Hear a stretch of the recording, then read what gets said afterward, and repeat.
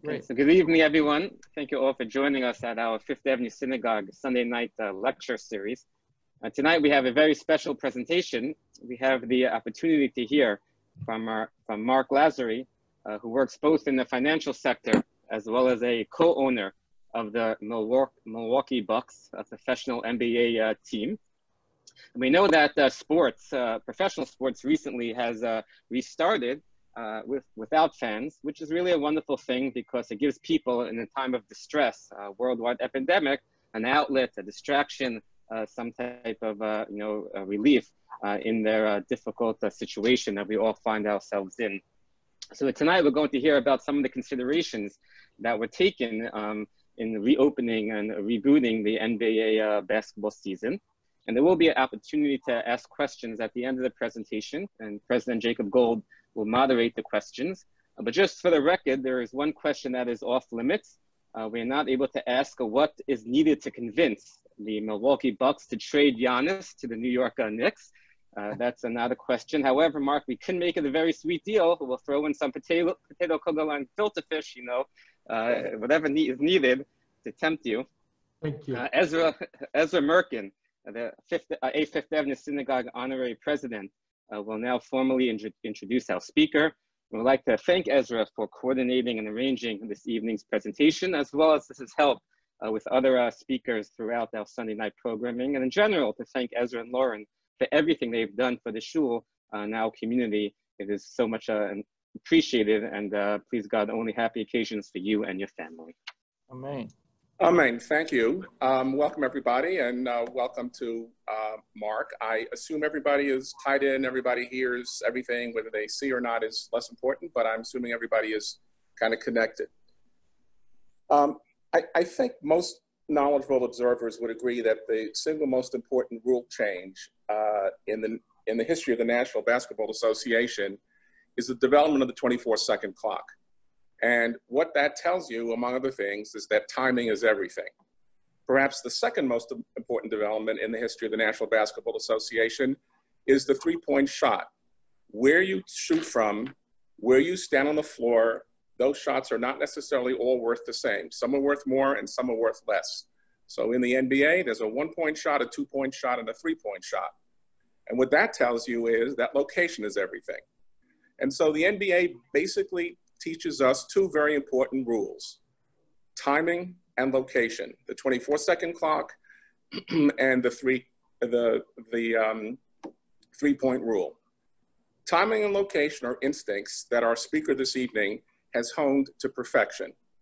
As he moved from an original uh, stay at R.D. Smith to Amroc, to his own firm, Avenue, um, he, at every single juncture, was at the right time, went to the right place, made the right move, made it at the right time, and was the right location on the floor.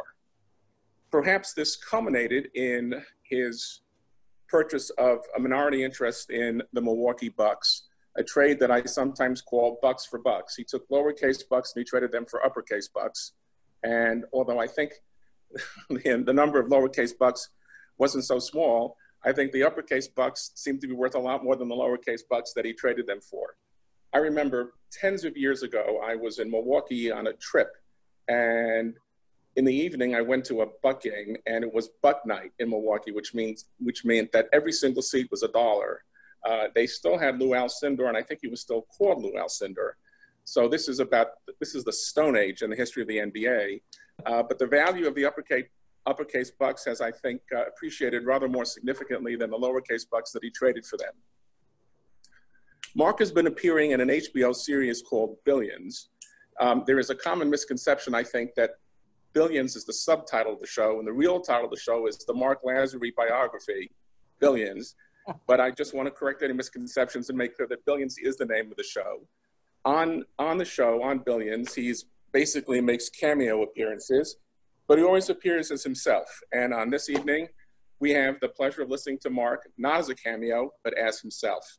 Before I turn it over to him, we all wish him a mazel tov. In the last six weeks, he's uh, had three grandchildren, and less than a week ago had twin grandchildren who were born B'Shantova and seem all very well, and all goes well. There'll be a bris for one of them this coming Tuesday. So, Marc, you have all of our mazel tovs and all of our best wishes, and we're all looking forward to hearing from you. Thank you. It's very sweet of you. Um, so, what I thought might be helpful is, um, you know, to talk about sort of how I ended up um, buying the team. Um, if you think that makes, if that's the right way to get started, Jake and Jacob. Yes, that, that would be, that would be great. Thank you, Sure. Marc. Um, so what ended up happening is um, about six years ago, um, the team was available, and we got a phone call from Allen Company to, you know, were we interested? And I was like, sure, why not? Um, I've been trying to buy a basketball team, and we ended up uh, starting to do the work. And I partnered up, partnered with uh, Wes Edens, who runs Fortress. So the two of us do a ton of work. And it's kind of funny, you know, part of our due diligence is to go out to Milwaukee. So we go out to Milwaukee, and um, you know, at the time, the Bucks were actually the worst team in the NBA. And um, we go, and there's, you know, on a 17,000 uh, stadium, there's probably like 4,000 people. Um, and it was my introduction to a halftime show that I've never seen before. And once we bought the team, we got rid of it. Um, so what they would do is imagine this.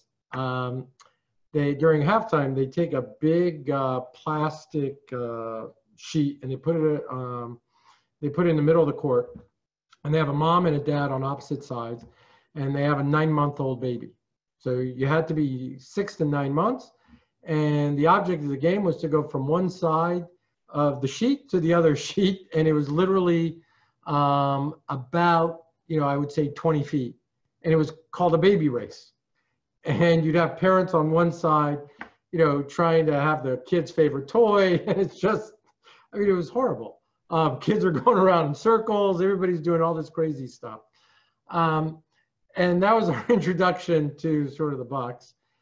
And um, we end up, um, you know, at the end, um, we find out we're involved a little bit in a bidding war, and um, you know, uh, we we go into this meeting and we're told, look, if you pay, um, you know, 550 million, uh, the team is yours. And the team was making $5 million a year. So, you know, we sort of come to the conclusion, look, that's a bit, that's a bit high. So my partner and I, Wes, decide um, that we're going to be smart and we're not going to pay more than 500 million. So, um, Steve Greenberg, who's the partner in charge of this from uh, Allen Company, comes in and gives us this speech. This is your only opportunity.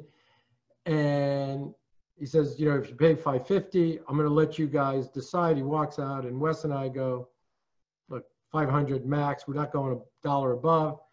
And he goes, yep, you got it. Steve comes back in. Wes sticks his hand out and goes, you're done at 550. and I look at Wes. I'm like, wait a minute, we just agreed. And Wes goes, ah, don't worry about it. It's the only way you're gonna be able to buy a team. Stop being so cheap. Um, and I'll put up the I'll put up the extra money. And don't worry, we're still partners. So make a long story short, I ended up doing the exact same thing where you know Wes and I split it. Um, but that was my introduction to the NBA. And one of the things we you find is, you know, when you buy a team, um, you don't realize how emotional you're going to be.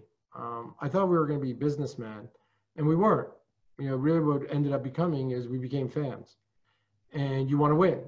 And um, so we ended up deciding that to win, you know, you were going to spend literally every dollar you made. Um, you know, and we brought in Jason Kidd and we brought in a number of other folks. Um, and we got lucky in that we had um, this player that at the time was a rookie when we bought the team, Giannis Antetokounmpo, and we didn't know how good he was going to be. Um, and you know, every time we'd go to uh, Milwaukee um, before the season started, um, we end up, you know, we'd sit down with Giannis because he was always there. He was always practicing. Um, and I remember once um, I said, um, "Look, you know, um, I played I played basketball in college. I have a, I have an idea. He was making a couple million dollars a year, the league minimum, a million and a half." And, you know, I said, if you want, why don't we play up to 15? And if I score one basket, we don't have to pay you. But if you can hold me, you know, you have 15 tries. Obviously, you'll score, but I have 15 tries to make one basket. And if I can score one basket, I win. And he goes, okay. I was like, well, just so you know, I played in college. He goes, yeah, I don't care. Um, and I said, well, I, I just have to score one basket.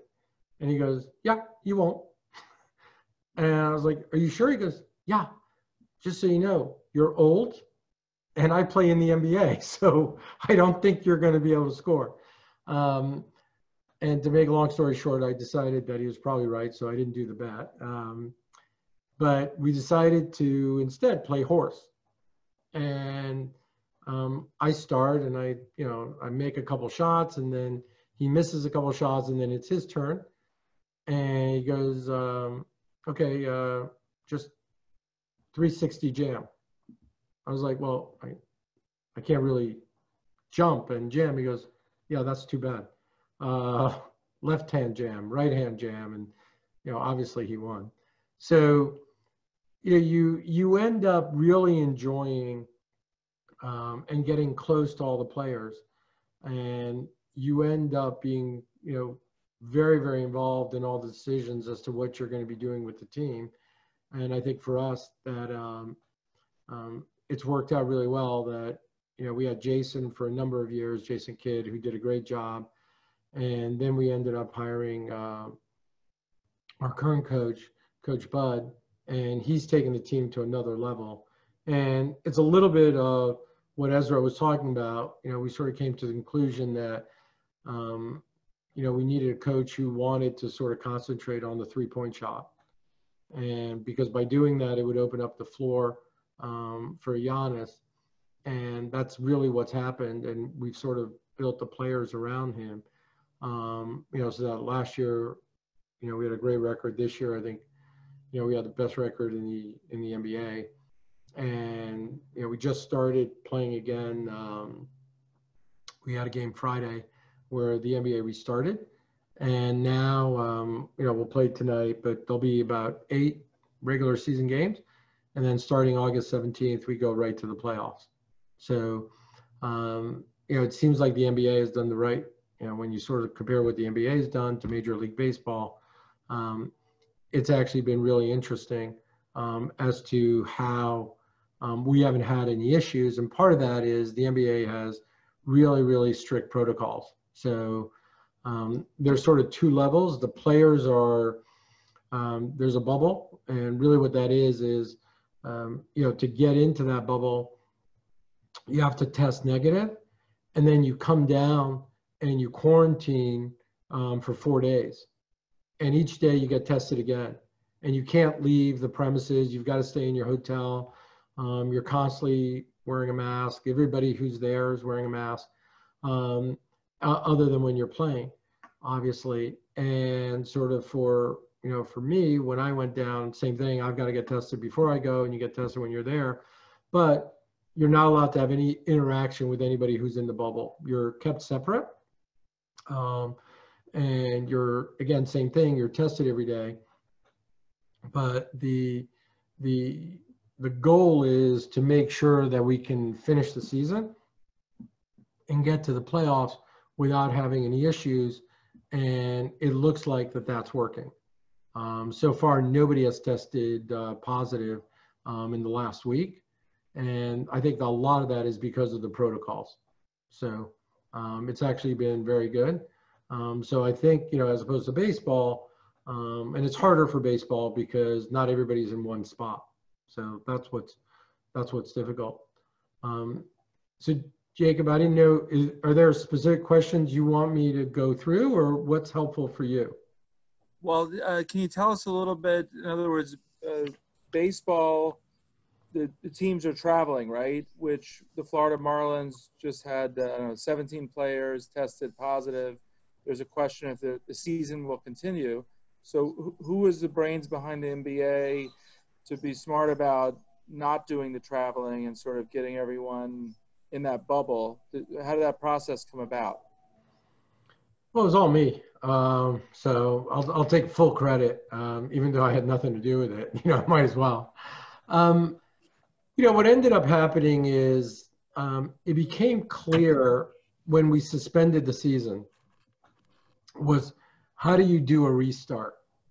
And, you know, the problem became that sort of even traveling was going to be an issue. You, uh, you know, where if you're traveling, you've got to stay in a hotel, there's going to be people. So, um, you know, the more interaction you have with folks, the higher the probability is that somebody could catch something. So the idea was let's do it in an enclosed area. And originally it was going to be um, it was going to be in Orlando and in uh, Vegas. So the idea was that you would have the Western Conference teams in Vegas. Um, we would be, uh, and you'd have the Eastern Conference in Orlando, and then you know you'd sort of have it just in one spot. Um, and then ultimately the decision became um, that you couldn't take the risk that in essence you'd be playing in one spot and the other spot um, if there was an issue what would happen so you it, it sort of became uh, easier to do everything in one spot um, and orlando became the area just because they had three gyms you know wide world of sports where it is at disney world and that you could in, in essence take up all the hotels so there's three hotels um, the ones everybody would know is the Grand Floridian, which is now uh, just NBA players and sort of staff. So the idea was if everything was there, it was enclosed. Um, you could control the process. You could control who came in, who came out. And the NBA spent a great deal of time getting everything all prepared and creating that bubble, that area. Um, and I think that's really been the key is that there is no travel, there's no interaction with anybody outside. Um, the food is brought in. Um, it, everything is set up so that there's no interaction with anybody. And the protocols are very, very strong that um, e- even if you've tested positive, I mean, negative, day after day, you're still walking around with a mask. And um, I, I, think that's been the big difference. Baseball, there's travel. Um, the players are still with their families. So the interaction is there. Whereas for the NBA, no families allowed. Um, even for owners, when we go down, um, I'm only the principal owners are allowed to come. So you've got to be, you know, the governor or the alternate governor, and that's that's the only people who can come to the game. So when I went, um, when I went down, um, you know, you're you're actually put in a enclosed area where there's plexiglass all around you, and you've also got to be wearing a mask your whole time. So it's pretty strict. Um, so I, I think it's going to work, and I think you'll we'll end up seeing all these games. Um, and if a player tests positive, um, he can't play until he gets two negative tests. And so even if you have a false positive, right? So I mean, it's just it's just how life is. So um, the rules are pretty strict. Now I think maybe things loosen up a little bit as there's less and less folks in the bubble. Because right now, if you think about it, there's 22 teams. Out of 22 teams, you're uh, the max that every every team was allowed to bring was 35 individuals. So team, coaches, uh, players. So if you sort of think about that, um, literally in two weeks, that'll drop by um, six teams. So you'll have 180 less folks there. You'll start right with the playoffs. And then, you know, two or three weeks later, again, you go half that number. So I, I, I think it'll be pretty good um, and things will go pretty quickly um, where things will be fine. So, so far, so good. And the other thing that's interesting, so you know, your team I think has the best record, uh, if I'm not mistaken. So you would have had home field advantage throughout yeah. the playoffs and the championship. Now you're in Orlando, and the number eight spot. I mean, you know, what's the difference between number one and number eight? Besides that, you have a better team, as far as you're playing in the same arena, right? Yeah. Difference. So it's actually funny. The NBA is trying to recreate that home field advantage. So the way they do it is when you're, if you're the home team, the announcer, it was actually really funny because I went, when I was at the game, we were playing the Celtics. And, you know, uh, you've got crowd noise and it, it is, it's piped in and so on. Uh, but like when Giannis would score, it, would- it would be, and Giannis, you know, screaming, and Giannis with, you know, the jam. And then when Jayson Tatum would score, it would be two points for the Celtics for Tatum. And, you know, it's trying to, it's trying to create some of that energy. It's hard. I mean, it just is. You're absolutely correct. Um, you know, the, there's all these screens, so it's your team colors are on the screen. It's, look, it's, you don't have the energy. You just don't. I mean, there's no way you're going to recreate that. But um, I think ultimately what you'll find is, um, yeah, home court was a big advantage. It's gone. I mean, so I, I think that'll, I think when, I think the better team should always win. I think when you get to the conference finals, having home court would have been a big deal. I think now it's not going to be as much. and I think when you're in the NBA finals, that would have been a big deal, and you're not going to have that. So I think that's always worth, you know, what the odds makers tell you is it's always worth, you know, three points, two, three, four points. Um, so in a close game, you're just not going to have it. Um, it's life. I mean, there's nothing you could do. Um, I think people would rather be playing than not. Um, so we'll see what happens. But yeah, it's going to be an issue. So, so maybe you can tell us a little bit about the new playoff format. I think this is the first year in NBA history. Usually it's it's eight on each side. Is that correct? And this year you have I nine on one side and 13 on the other. Yeah. Maybe explain it and how that process is that because of COVID or that's a permanent thing? No, no, no. It's actually the playoffs are the same. So what what ended up happening is that um, on the eastern side, so what they ended up doing was running all these analytics, um, and the analytics showed that if you were at this point in the season, um, the the difference between eight and nine, um, if you were more than six games up, uh, there was no probability, it just had never happened that you would end up going from behind six games to get to the eighth spot with 20 games left over, something like that, right? So, and on the West, um, you had five teams that were within six games. So that's why on the East, there's only, there's nine, and why on the West, um, you've got, right, 14? 13, 13. Yeah, you've got 13. Yeah. So because you had five teams that could that had a shot of getting to that eighth spot. So really what ends up happening is your the eighth spot is you're going to have a, a game between the eighth and the ninth the ninth spot. Um, so really at the end of the day, um, it's really Orlando and Brooklyn that are playing for the seventh spot. So it's one game they play, or how does that Yeah, work? Yeah, they just play one game. So eight and nine will play one game, Okay. and then that becomes the eighth seed. Um, so like the Pelicans, who were, I think, two or three games away from that eighth seed, have lost two straight games. So now the odds of them making the playoffs are even harder, right? So that that's what's happening. It was just to try to give, no matter what you did, it was going to be unfair, right? If you said, okay, season's over, we're going to go right to the playoffs, the team that was half a game back would have said, hey, I could have had a chance to be in the playoffs. You've taken that opportunity away from me. So the idea was, okay, let's do eight games, which gets people in shape, gets ready, lowers the risk of injury, um, and it gave people the opportunity to still make the playoffs if they weren't there. But the actual playoffs will be the same. It'll be one and eight and two and seven. Yep, that's exactly it. It'll be exactly the same way. Got it. So I don't know if you're comfortable sharing this this uh, answer, but you know clearly, you know, everyone's appreciative the NBA season is back. Anyone that loves basketball like, like we do, but uh, clearly, you know, the the fans aren't able to go to games because of COVID. So there, there's definitely a financial loss to someone, right? Either the owners, the arena.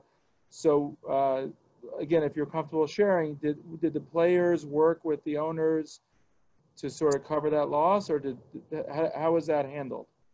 Um, well, it's actually simple. It's the owners who picked it up.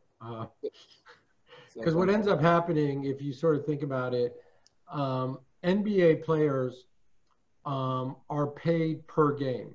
So if you have a sal, you have your salary, and you're you're paid. Um, so one, there's 82 games.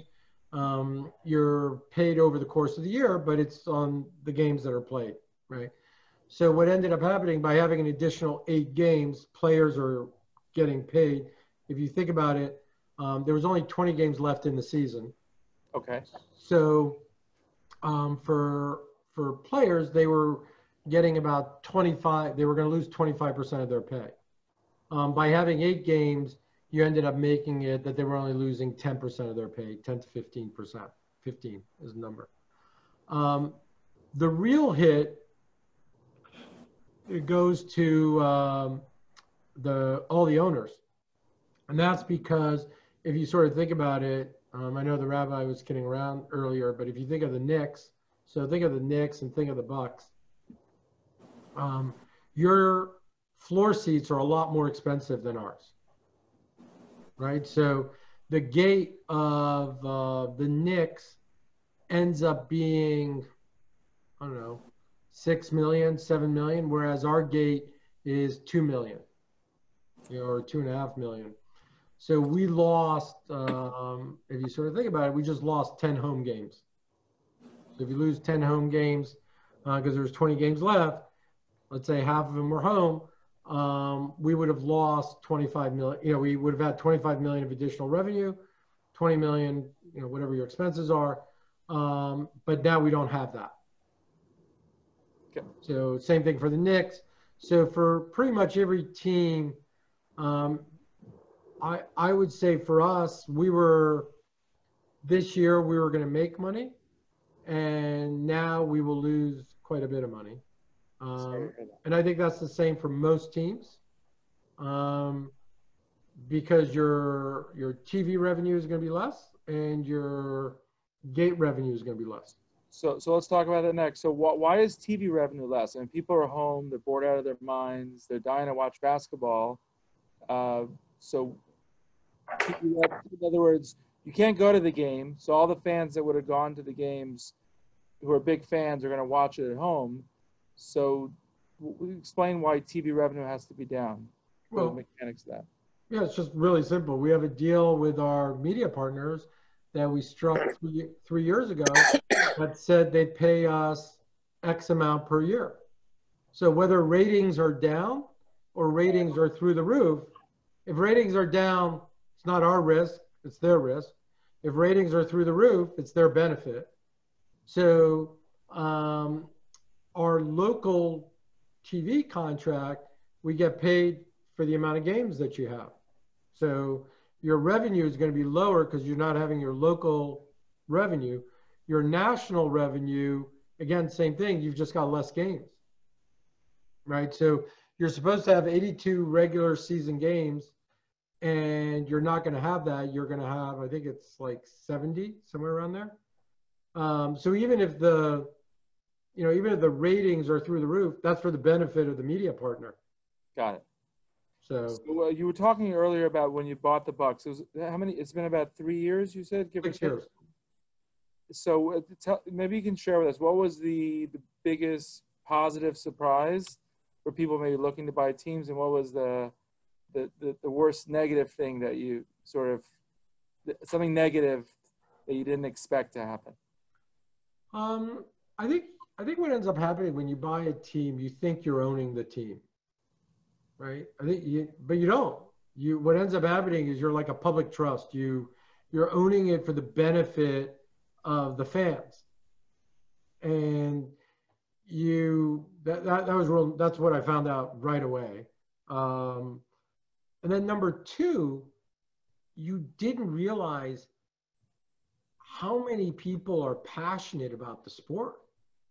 Like it was just, um, you know, when I, I, I would go to games and, you know, you're sort of sitting there, we, we sit uh, courtside and people come up to me and they go, like, I, I, if you don't mind, I just got a, I just got a quick question for you. I'm like, sure. He goes, don't you think we should get Steph Curry? don't you think we should get LeBron James? Or don't you think we should do this? I'm like, yeah, I think it's a great idea. Um, they go, so how come we're not doing that? Like, the other guys don't want to give them up. It's not like I don't want them. And you, you, you sort of find that there's, you know, 50,000 GMs. You know, everybody's got their view. Um, so I don't think you fully, I don't think you fully thought that through, right? Um, you didn't realize how much you're a part of the fabric of the city. That, um, like, you better try to win, right? I mean, I think if you're not trying to win, it, you know, people get disillusioned really fast. And um, I, I think, especially in Milwaukee, what people appreciate is, you know, once we bought the team, we said we were going to do everything we can to try to make it a winner. Um, we were not going to settle for second best. And you, you, what you also realize is how, how much luck plays a part in this. You know, it's, did somebody get hurt? Did you do the right trade? Um, you know, we found out so I think a year before, I think a year before, two years before, um, Steph Curry was actually traded to the Milwaukee Bucks for Andrew Bogut. Um, the problem was the Bucks medical team, um, he didn't pass his physical because they thought that his ankles were too weak. So um, what ended up happening is um, they took Monta Ellis instead. All right. I mean, imagine like, you know, the medical staff had said, yeah, he's fine because he was, but all right. We drafted Giannis in 15th. He was the 15th pick. Wow. There were 14 other, you know, today everybody tells you, wow, everybody who was after us says, oh, I was going to take him with the next pick, right? Because that's easy to say. And everybody before said, oh, I was going to take him, but I got overruled. Like, so, you know, luck plays a big part in it. Um, we ended up, you know, we took Jabari Parker the first year and he was doing great. And then he tore his ACL. And then when he came back, he tore his ACL. So, um, you know, the 76ers, if you sort of think about it, Andrew Wiggins was number one. Number two was Jabari Parker, and number three was Joel Embiid. Well, today, if you redid that draft, you would have taken Joel Embiid, right? And so, luck plays a big part, and um, I don't think you fully appreciate that. Um, injuries play a big part. Um, trades that you tried to do that happened, didn't happen. You know, when we bought the team, tell you a great story the big free agent. So when we bought the team, the big free agent that year was Greg Monroe. So the Knicks were trying to get him. Everybody wanted him. And so we went up to Washington, D.C. to go get him. Um, I mean, that's where he lived. And our time slot was 2 o'clock in the morning. The Knicks, on July 1st, was when you could start. The Knicks, Phil Jackson was there, and it was 12 to 2 and then we were two to four. Um, I forgot who, you know, and then there were two other teams after us.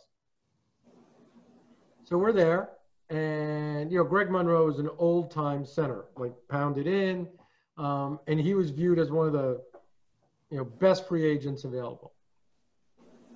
And I'm there, and we're talking to him. We're trying to convince him to come to the Bucks, and everybody's paying him the same amount, so it's just whoever he likes more.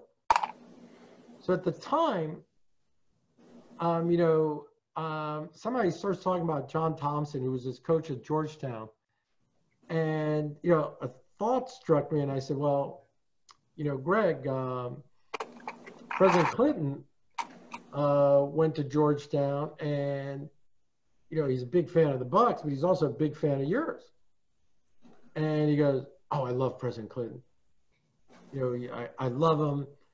D- does he really want me to come to the Bucks?" I was like, "Oh yeah, hundred percent. Um, if you want, we'll call him right now."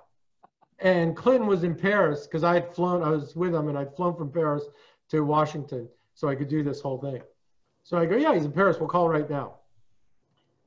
So I go in the other room, and I call on the phone, and I make believe I'm Clinton, and I go, "Greg, this is the president.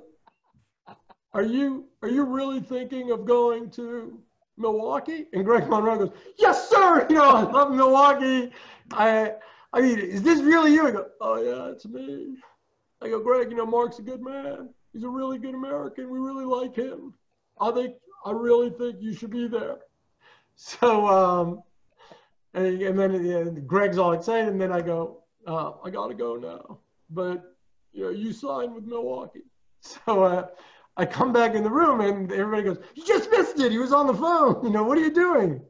And I, I didn't even have the heart to say it was me. Um, so I, I take his agent outside, David Falk, who's like the sweetest guy, great guy. I said, Dave, David, you do know that was me, and so and he goes, yeah, yeah, no, I know, it's fine, don't worry.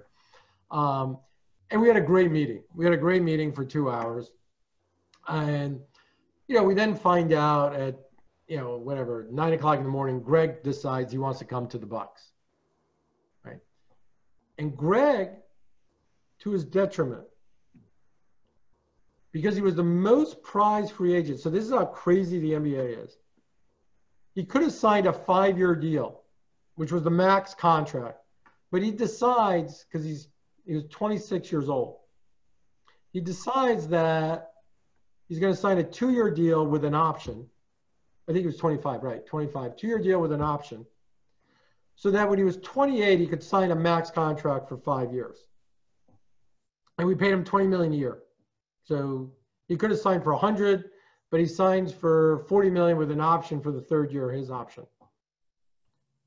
Within two years, it's a little bit of what Ezra said. His game became obsolete.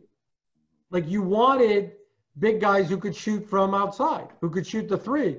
Greg could, beyond the foul line, he couldn't shoot, right?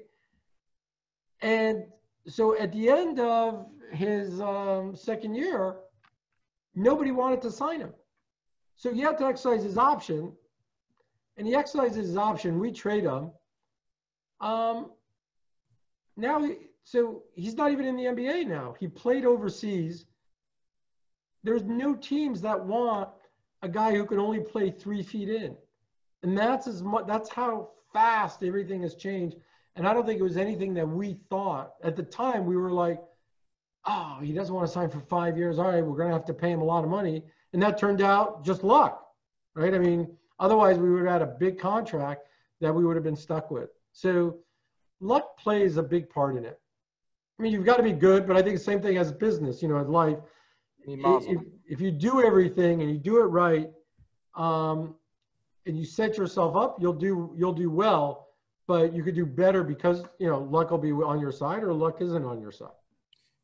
Marc, can you maybe share a little bit your background? I mean, clearly you're you're a big basketball fan, or you went to you know invested and put so much time and money and effort. So maybe tell us a little bit. Like, were you a basketball fan early on? Like, when did you even think of acquiring a team? And maybe talk about that process. So I wasn't born here. So I was born in Morocco. Um, you know, good Sephardic Jew. You come to the United States. I, I came when I was seven. Um, so I, have always been pretty athletic. And so when I was young, I just played basketball all the time. Um, I played basketball, baseball, and soccer.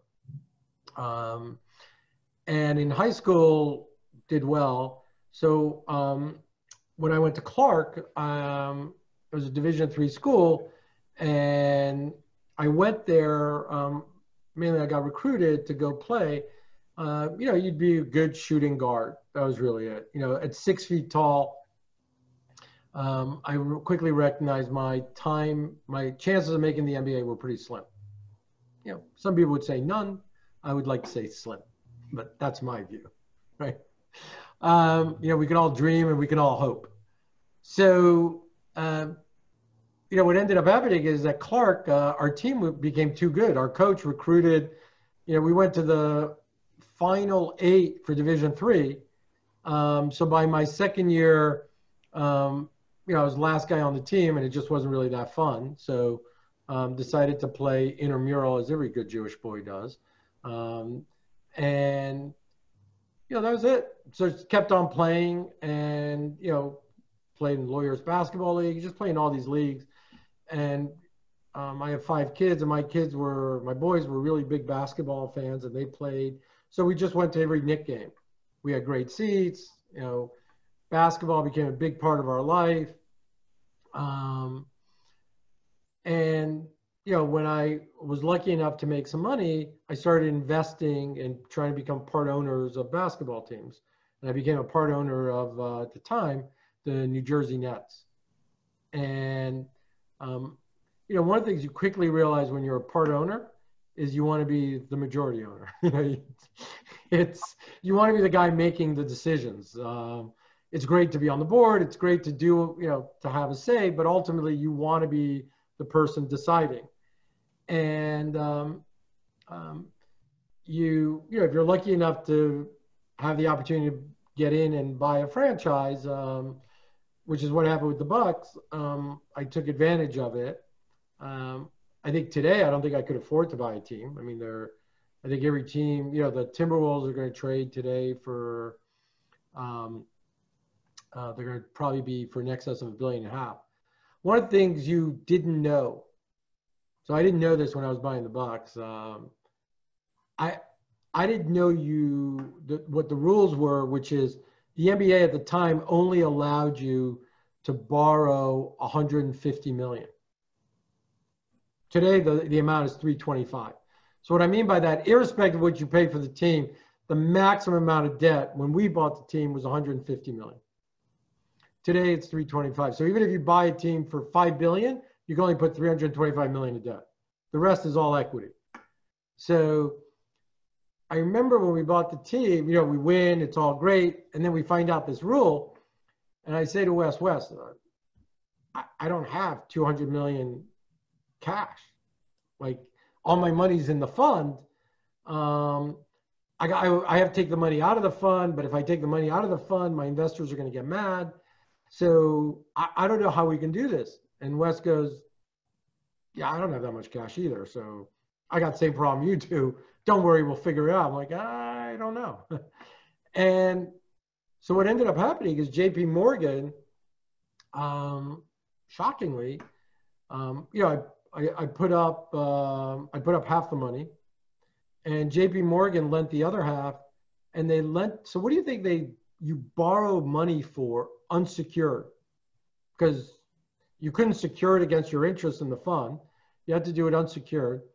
So they lent me money at LIBOR plus one and a half. I was like, wow, I'll do this all day long.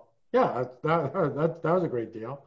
So that's how we were able to buy the team. We borrowed money, and then over the over a couple years, I just paid down the the amount.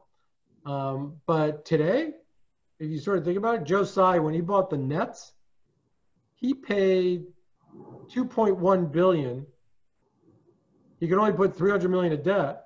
So he had to, you know, he had to write a check for 1.8 billion. It's a lot of money. I mean, it's just, it's, it's a lot of money you got to put up. So that's what's going on today is, um, you know, these franchises are still selling and people are putting up real money to buy these.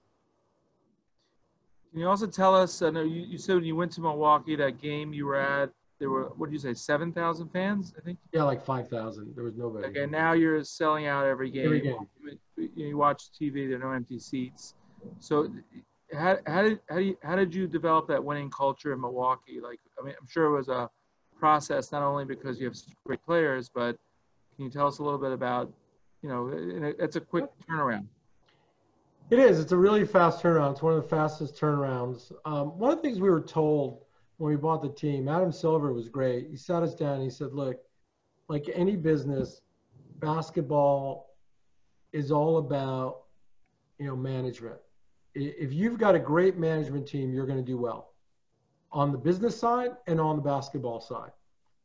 And I think for us, very quickly, you know, bringing in Jason Kidd was huge uh, because it made people realize Milwaukee was a place. It wasn't like a place nobody wanted to go to. It was a place that people wanted to be at.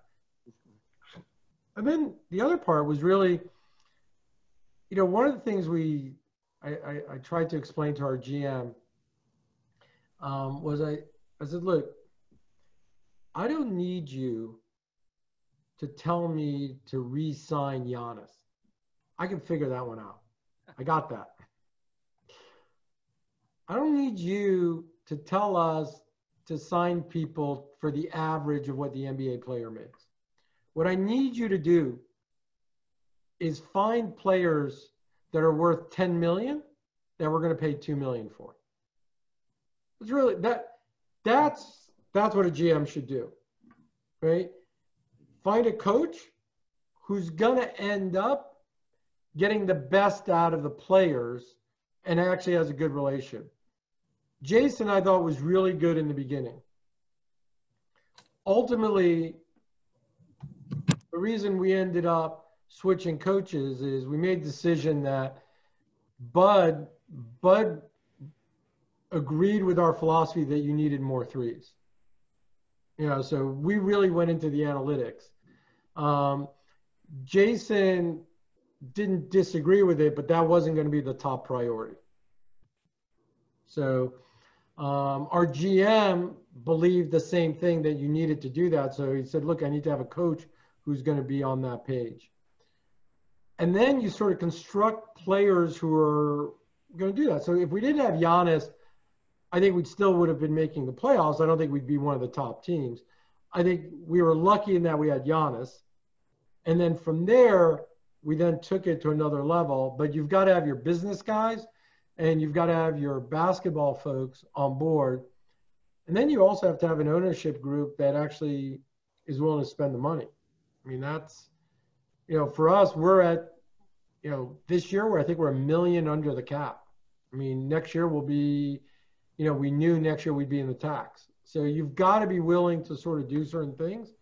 Um, you know, look, it just costs money. I mean, it's it is what it is, and you when you're constructing a team, you're you know that to get there, you're going to have to get these certain players, um, and you you hope you're. I, I think our GM did a great job in getting like George Hill, and who's done a fabulous job. But like Donte, um, you know, he was a great draft pick. You know, we had when we had Brook, we signed Brook to the minimum, which was two million. You know, and then we were able to sign him to, uh, you know, for four years for 52 million. Um, I think Brook, by the way, could have gotten, you know, I know Brook was offered 60 million for three years, but he decided he wanted to win a championship. So I think once you get that winning culture, people want to play for you for I think less than they would. Um, but you got to spend money to get there, and yeah, it's the, the problem is once you get there, You got to stay or- there. yeah, that's exactly it. You want to stay there, and if you're not staying there, um, then then you have issues, right? So um, it, it's not easy. I mean, it really isn't, um, and you, you always have to be striving for that excellence. Got it. So I introduce you to my friend Ted Ackerley, who used to own the Sonics, and he's looking to bring a team to Seattle. So can you uh, maybe give us some perspective of, you know, the NBA, the, we, you know, Ezra talked about the, the game changing, you know, the three point, et cetera. But what are some of the things that, you know, as an owner that you'd like to see the NBA go to in the next couple years? And, and what are the, maybe some of the things that concern you that, that keep you up at night about the NBA? Um, look, I think for the know, and Ted, you would know this. I mean, it's just the the question is, how much dilution should you have, right? So should we have, right now there's 30 teams, should you have 32 teams? And, um, you know, from, I, I think that would be good. Um, but, you know, how many, what issues does that create, right? Or there's, if you're going to have another team, does that mean you get to take some of my players, right? Because it's not, you can't just draft, right? I mean, you're going to need, so I think you're going to have that. That's going to be an issue. Um, I think one of the things you quickly find out of in the NBA, and I think you know this, is it's funny. You're you're a partnership. You're trying to win when you're on the court, but off the court, everybody's trying to work together. Um, and you know, so I think that I, I think it's a nice uh, group of people. Um, I think it'd be beneficial to have 32 teams. I think it'd be beneficial to have, um, you know, European League. I think it'd be beneficial to have a league in China. Um, you know, you want to grow the NBA and you want to grow your fans. If you think of soccer, soccer is global. I mean, the NBA is getting global, um, but um, you know, it's not it's not as popular as soccer. I think it's supplementing baseball, which I think is great. Um, but you know, I think the biggest issues is I think the biggest issue for every team, you know, to be blunt, is um, you got to get fans in the door. You know, so Seattle, it's you're you're going to want. I mean, they're desperate to have again sort of a team, um, but you're going to have a challenge if you're not winning. You know, so I think for us the biggest problem we have is HDTV. I mean, it's just you know I got to go sell 41 home games. And when you're winning, it's easy. And when you're not winning, it's not. Um, and it's always the competition. So, you know, New York, it's easier just because there's 8 million people and it's 17,000 seat. Milwaukee, it's 600,000 is the population. I don't know what Seattle is, but, um, you know, you got to get that, you got to keep those stands filled. Um, so, you know, I'm all for growth. I think it's beneficial to all of us. Um, I think some owners would rather it stays at 30. You know, to me, if it's 31, 32, it's fine. I don't, I don't think you can go to 40. Like I, I think then you've diluted it. But I think, I think if you add one team now and you add another team in three or four years or five years, I think that's fine. Marc, do you see that going uh, out of the out of the country first and foremost? If there was expansion, do you think it's domestic or do you think it's out of the out of the country? I think it's domestic. I think it's hard.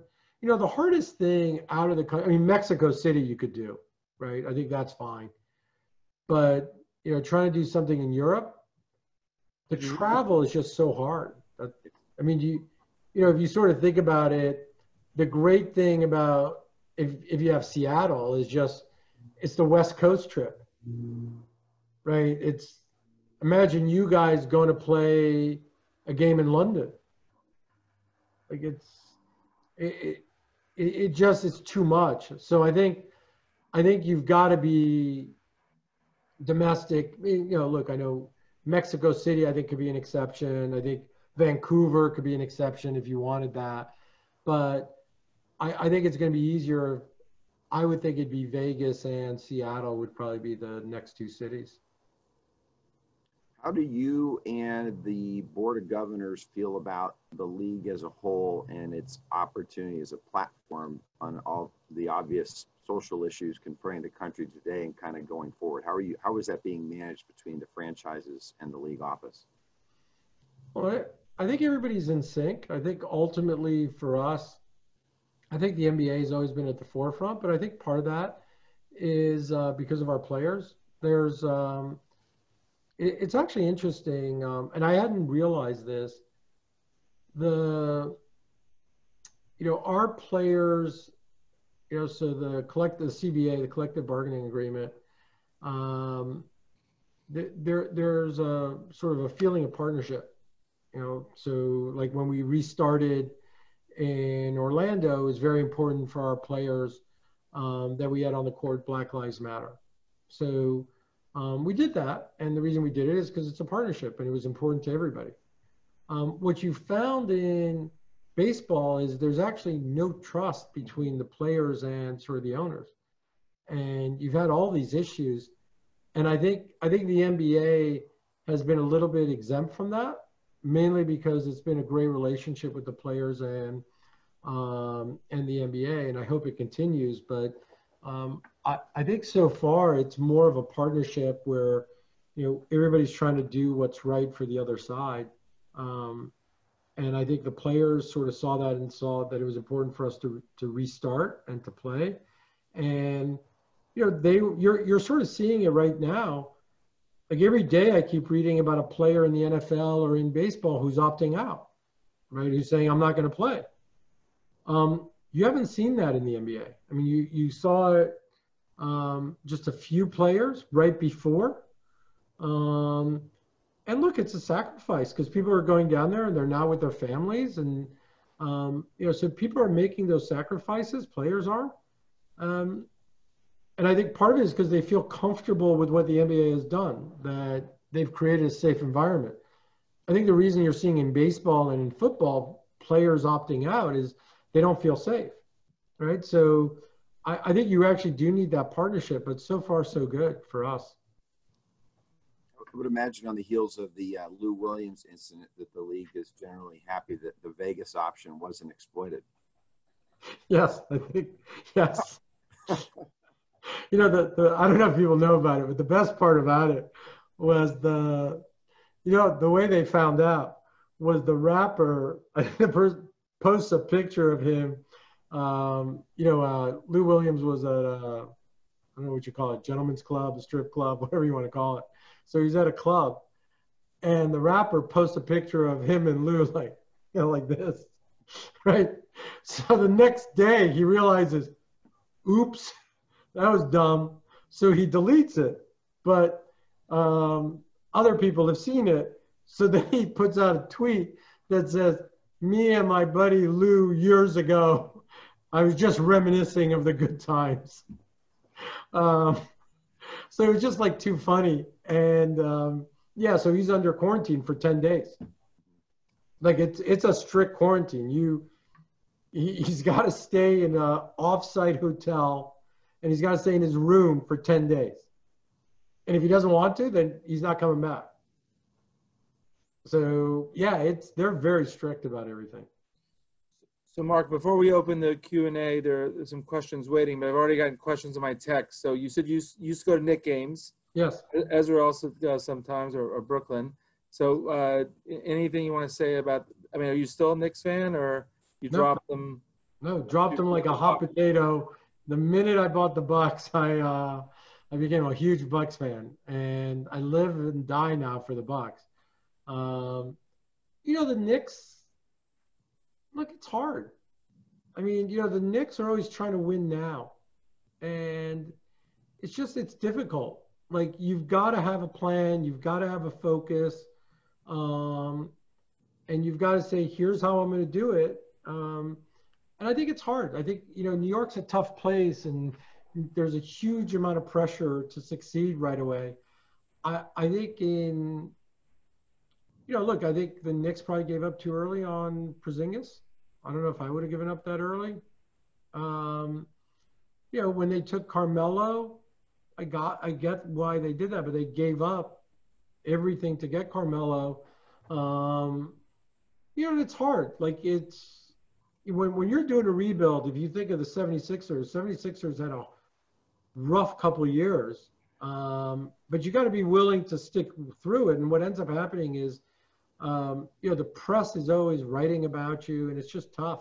So I, I, I think it's hard for Dolan. I mean, it just is. It's just it's a hard city, and you know the what people want right away is just uh, they want you to win. So, so you you mentioned you owned a minority interest in the Nets. Are we able to keep that, or you had to give that away when you bought the Bucks? The minute you buy it, you can only have an interest in one team. Okay. So the minute I bought it, I had to sell that interest. So any perspective? I mean, the, the Nets have been really exciting. They have a new arena. Um, they seem to have a lot of momentum. They, they just recruited some good players. Yeah. Any, any uh, thoughts on them or? Look, I think they'll be great. I mean, I really do. I think, I think their ownership. Uh, Joe's a great guy. Um, he's got a guy, Ollie Weisberg, who's his number two, who works, uh, who's doing the right things. I think Sean Marks, who's their GM, is a great GM. You know, they're they're building it, and part of it is I think uh, Durant um, was comfortable with the team, and part of that is he thought, yeah, stable ownership, um, great GM. It it means a lot because I think today for players, um, it's more where you where you feel comfortable, where you think you've got a shot of winning. Whereas I would have told you in the past, you want it to be you want it to be in New York, you want it to be in LA, you want it to be in Miami, Chicago. Uh, those were the cities. Today, it doesn't make a difference where you are because of social media. So you just want to make sure you've got a shot to win. Um, and if the player believes ownership and management is going to do everything to win, he's going to want to be there. Right? I mean, I think for us, you know, Giannis is firmly convinced we're going to do everything it takes to win. Um, and now it's up to the players. So, yeah. So Marc, there aren't that many NBA owners that go on a popular show like Billions. So can you tell us a little bit about how that happened and give us some insight? I mean, you, now you have a Hollywood role, you have an NBA owner, you're running a hedge fund. Yeah. Um, Multifaceted. Well, I'm just um, I'm friends with Brian Koppelman, you know, just friendly, and um, you know when they were doing Billions, um, I was talking to him about the show, and you know we I, I'd always say, look, here's some of the stuff I do, and you know I think Brian talks to me and probably ten other folks, you know, folks like me about different things of what we do. Um, so, you know, one of the things I asked is I said, you know, I'd love to come on the show. And he was like, great, sure, we'd love to have you. And, um, you know, I, I went on and I got to play myself, which is always even better. Um, the last one, I remember um, I had one line, I was with David Solomon, and I said to Brian, um, I, I, I, can't do one line. He goes, doesn't care. I don't care what you can do. All you got is one line. I go, it doesn't work for me. he would just laugh. And he'd go, whatever, do what you want to say. And, um, yeah, so I got to have two or three lines. But it, it's funny. He's a great guy. He's got, um, it, it's a great franchise, you know, and I think uh, people love it. So, yeah, it's just fun to do. Super popular. Ezra, before I open the Q and A, was there anything uh, you wanted Marc to cover that we didn't cover tonight? I, I had, I guess, a, a, question maybe at one level of abstraction too high, but I'm, I'm curious what Marc's thoughts about this, which is um, I might have thought perhaps six months ago, nine months ago, or 12 months ago that one could begin to perhaps speculate and pick a top in major league sports in the United States in terms of television contracts, values of the franchise, availability of leverage, all these things driving valuations. One of the things that I was surprised by, and it's just me, I mean, I'm, and I no great insight here, is I was surprised at the extent to which I missed, but, but everybody missed sports. It seemed like a, a real national ache. Um, different sports, different things. Um, without getting political, I think one of the few things, or maybe one of the few things that I've ever heard from our uh, national leader was he said at some point he was getting tired of watching 14 year old baseball games. My question to Marc really is um, were you surprised by the country's reaction to, you know, to missing sports over COVID? And is COVID likely to bring I mean, there, there are two kinds of changes. There are, there are changes that are permanent and there are changes that are transient it's very easy to identify some of the transient changes in the, in the NBA and in sports, but are there changes that you think might become permanent? And are there, are there implications or trends that come out of the country's reaction to COVID that matter a great deal to the NBA, to you, to the Bucks, and, and to, you know, other major league sports? I, I think what we've learned is, it's a great point, by the way, that the value of these media, right, media rights is even higher than we thought. That was really, I mean, I That would have been my first guess, yeah. Yeah, it just, I, I, I would have said to you a year ago, God, I hope, I hope the media, we're gonna get the same, if not more. You know, that, that's what I would have hoped when our contract expired. Now, I'm convinced we're getting more, right? So I think that's been, become clear.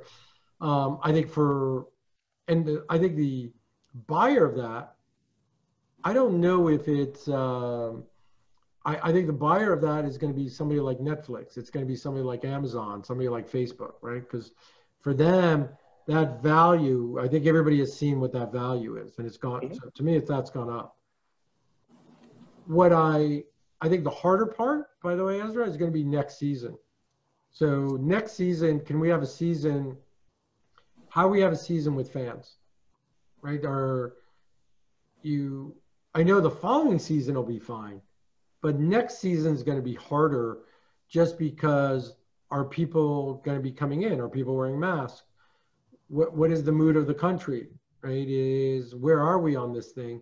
There's no vaccine in january of this year. So therefore you know you're are you going to be able to have fans or are we going to play without fans? And if we do that how do we do it? Like do we do a bubble again which i don't think we can do? Are you going to do what baseball's doing where teams are traveling? Um, we haven't been able to figure that out yet. And part of that is there is a belief within the NBA that things are moving so fast that we just don't know.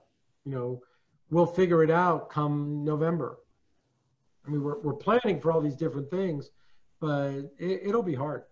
So that, I, I think for Yeah, the interesting thing is that sports is going to form part of the solution because not just in the in the economic sense of a leading indicator, but because sports move so much of, of social life. I had a oh. conversation today, or an email exchange today, more accurately, with some folks at Carnegie Hall who have until September to decide whether they're going to postpone their season past January 6th. And they think the likelihood is that they will. And Carnegie Hall is one building, but Yeah. they definitely are looking at sports to see what they're going to do.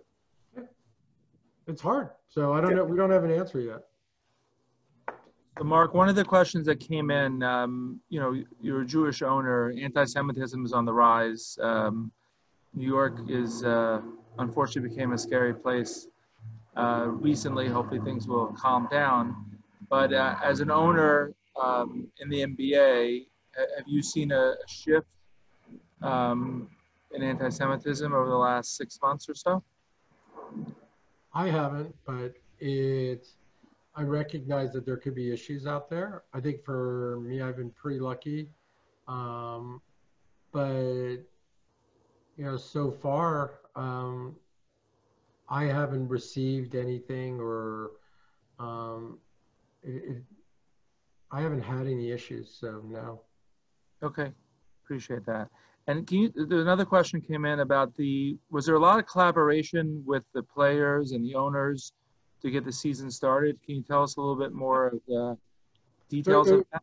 Yeah, there was a huge amount of collaboration. I think uh, we worked uh, with the players union and trying to make sure of how the restart would happen, um, when it would start. You know, should we do regular season games? Should we go right to the playoffs? Um, so we worked pretty closely with the players. Um, you know, what everybody was worried about was injuries. So you had a three-week period where everybody would train and then you have these games, you know, then you had scrimmages and then you had games. Um, everything's been done in conjunction with the players. Um, I think it's that, and that's why I said to you earlier, it, it's actually interesting for us. It's a partnership. Whereas I think with, um, with football and with baseball, it's a little bit, uh, it's not as much a partnership. Now, part of that is I think we just have fewer players on a team. Um, so there's less personalities. Um, also, if you sort of think about it, um, at the end of the day, uh, there's always sort of, you know, especially on a basketball team, two or three players who drive that team. So as long as they were on board, you know, if LeBron James, um, Anthony Davis, Giannis, and a couple other players said, "Don't care what you're doing, we have no interest," there wouldn't have been a restart, right? So I, I think, I, I think the players were very much on board. So, um, and we, everything was done in conjunction with them. Great. Can you talk about the, I think the NBA draft would usually be around, when is the NBA draft on a normal year? June, right? Yeah. So we're already late. So, so w- w- what's the process about this year's NBA draft? Is it, is, It'll be right after the season. okay, Um, right after the season is over. Um, so, to be honest with you, I don't even know the exact date. Um, you know, the look, it's going to be hard. It's going to be a hard draft because you didn't you didn't have March Madness. You didn't have a lot of games. Um, you can't really. You, you have players who are coming to work out for you, but it, you're not having every player work out, so it's it's kind of tough. Um, it, will be an interesting draft. You your GM better be really good this time. When you say they're working out, they, they're not going to Orlando. They're No, no, they'll come to our practice facility, but some it. players won't come because you got to get on a plane, you got to fly. So, yeah, it's whoever whoever is willing to show up. This could be your, your, this could be a real lucky year. You could end Yeah, up. Either Yeah. we'll yeah we have the Great. our GM. You know, I told him you better get a good draft pick. Now, talk about the draft, because I know there's been a lot of conversation about that, but the draft picks always go to the worst teams. Is that correct? What, what's the Yeah. process now? So the way it- it works is it lottery for the for like the top five worst, or how does that work? Yeah, so what ends up happening to try to prevent teams from it used to be the worst team, like the way it is in the NFL, the worst team has the first pick, Okay. right? The NBA used to be like that and then it changed and said that the worst team had a 25% probability of having the first pick. Um, now it's been reduced to around 10 or 15%.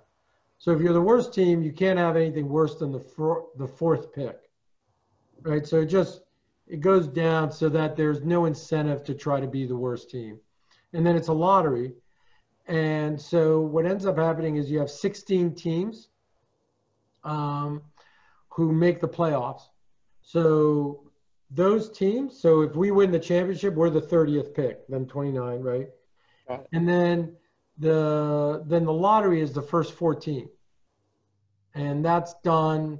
So i think after the first yeah i i think like if you're the 14th worst team you have like a half a percent probability of being the first pick right? So it's all probability weighted. Uh, but usually what ends up happening is by the sixth or seventh pick it's pretty much because it's like 95 percent uh, probability that you, you've got a 5% shot of, of moving up. So it usually stays, it's only for the first three or four picks where it So makes are it. you comfortable? Because I know there's been discussion about teams that sort of give up the year and they say, you know, close down. We're gonna let's shoot for the the draft. Are you comfortable with that, or does that take away from competitiveness? You know, yeah, look, I want to compete all the time. Mean, that's just, you know, when we bought the team, I had no interest in trying to be bad. I think that brings about a bad culture. That's really it. It's not a good culture. I think you always want to win. Uh, you want to try to win. Um, but the way you win, you know, the problem is the way you win is you, you know, there's a thing that the first three draft picks, the top three players in a draft, uh, there's, a, I think it's a 33%. What was it? I, thi- I think somewhere around there. 33% probability they will be an NBA starter. Um, and then like a 10 or 20% probability they'll be like an all-star, something like that. So the, the further down you go, the worse the odds are. So if you're a second round draft pick, there's a 1% probability that you will um, be an all-star, right? But everybody always talks about, you know, uh, Draymond Green or guys who were, you know, in the second round. But um, so the, that's why sort of some teams will say, okay, well, we give up because the way we'll get better is through the draft. I get that, but you know, I, I think for us, as long as we own the team, we're always going to try to win. All right. What are your thoughts on these? The, the new thing in the NBA, I think, is the players working together to play together, which I think has changed over the last decade. Do you have any thoughts on that? I mean, It's a reality, but do you have any opinions? My, my view is everybody can do whatever they want. Okay, You know, like it's, I, you know, if I want to go work for Ezra, I should be able to go work for Ezra if, you know, now, now can Ezra pay me what I want? That's different. But if I, if it's me and my three friends and we want to go they'll work, pay whatever you want after this. right? call. So, but if, so the the thing that limits what players can do is the salary cap, right? So, look, if you're all free agents, doesn't really make a difference. My salary cap is X. I can't pay each of you fifty million dollars. You know, if you think of what the Lakers did, Lakers brought Anthony Davis, but then that left them with just minimum contracts for the rest of the guys. So, you know, does that work? Eh, maybe I don't know, but I think at the end of the day, players if they want to play together, it's great. But what everybody quickly realizes you better be best friends. Because the problem in the NBA is everybody's an alpha male and everybody wants to take the last shot, Interesting. right? So there's only, you can have two stars. Right. But They what- they don't know how to play together. Yeah, but what, you know, the, the only reason the Warriors were able to do what they did is because Curry was on a low contract. So they, and then the salary cap jumped up and Durant was able to go when the salary cap jumped up. Otherwise, they never would have been able to do it. And Curry was fine, even though he was the best player on the team, letting Durant be the star. Now, most players are not like that, right? It's not in their prime. They're, they're, they're just not. So I, I'm always like, go ahead. Like, you know, LeBron James, you know, the, the Lakers had a max, had the ability to have a max contract. Kawhi didn't go there. I mean, they, none of the players who could have gone went. You know, they had to trade for Anthony Davis. I mean, it's just, you know, players want to be the stars of their team. Can you also explain for those of us who aren't as knowledgeable? So at the end of the day, it's not just about money, meaning there's a certain salary cap that every team has. Can you try to explain that a, you know, simple Yeah, level? so just think of it this way, the, you have a hundred million, just do a hundred million. If salary cap's a hundred million, um, a seven-year player, so can be, the max he can be is thirty-five percent of your salary. So you can't go over a hundred million. If you go over a hundred million, you pay a tax. So the first five million is one and a half times. Then, uh, 10 million over is two times, then 15 million over is three times, and 20 million over is four times. So if you if you're like 10 million over, you're paying you're you're paying an extra 30 million dollars, right? So it's just it's a lot of money. So if you're 20 million, it's like 80 million bucks. Um, so most owners, you know, most teams don't make money you know, if you're because everybody's trying to win, so you're break even, you make five Sure. million, you lose you lose five million. Um, so everybody's trying to stay within the salary cap. Like nobody wants to go over the salary cap, and I look, I don't care how rich you are, nobody's nobody's excited about writing checks of fifty million a year. Right. You know, people didn't make money by losing money. So, so what ends up happening is there's a limit to what you can pay. Um, so you've got to have 14, 13 people on a team. Um, if you if you have three max contracts, that's 90 million dollars. That leaves you 10 million. So that means all you can do is sign people for the minimum. So when you're signing players for the minimum, you're not exactly getting the best players. So, uh, you know, this year there's a high probability, with God's help, you'll be in the championship. Uh, so tell us a little bit, in other words, winning the championship, each player gets compensated from the team, from the NBA. We, we've all seen the ring ceremonies, but what's the, is there like a big financial incentive on top of being a Not winner or that's not what does it? Not really. There, there really isn't. I mean, you've got your contract. Um, you'll get an extra. I think each player, if you win the championship, you get you probably get an extra quarter of a million dollars. But- the real world, that's a lot of money. You know, it is. But if you're getting paid 25 million, Right. I No. understand. That's one percent. So you're not you're playing to win the championship. You're not playing to get um, to get like the extra. Doesn't mean they don't want it. Trust me, they all take it. Everybody takes it. It's not. But I think at the end of the day, um, the goal is to win the championship. Um, that's really it. You're, you know, players define themselves by being champions. And the winner takes all. The, the the losing team. It's not like the U.S. Open tennis where where the You the know, the losing team will get like a hundred thousand, something like oh that. they, they do get something. Yeah, yep. Got it. And and like you think if that number increase would make a difference? And where does that money come out of eventually? It comes out, of- it just comes out of the pool from the media partners. Um, Is that out of the owners pool or that's just out no, of it's just out of the media pool. interesting? So the media is actually Yeah, I mean, it's money we would get, but we're not getting it, so it's going to the players. So so it is coming out of your pocket at the end. Of, ultimately, yeah, I guess. got it. All right, I really appreciate your time, Ezra. Is there any, anything you want to cover before we let Marc watch his team win tonight? I just wanted to thank Marc. I, in, uh, if I don't know whether um, Alex or uh, Sophie are listening or any of Alex's uh, brothers and sister and parents, but mazel tov to them on the most recent additions in the plural to the family. And mazel tov to, again to you, Marc. And uh, look, I can say something in easy for us to say, which is we'd love to have you back, maybe on the other side of the championship, the draft, and the new season, and you can tell us, you know, how things look because it's a moving target. That's the one. If there's one message, that's one of the points you got to cross. No, so we'd we really, that. really thank you very much for being so good natured about it and for uh, giving us a wonderful evening. Thank you. My And. Marc, we, we, we hope to see you at Fifth Avenue Synagogue. So do I. uh, this is Thank this is a recruiting call to get you to come. I'm in. Okay. Thank you very much. Thank you so much. Have a great evening, Marc. Lots Thank of love. Take care. Mazel Bye-bye. Thank you. Thank you.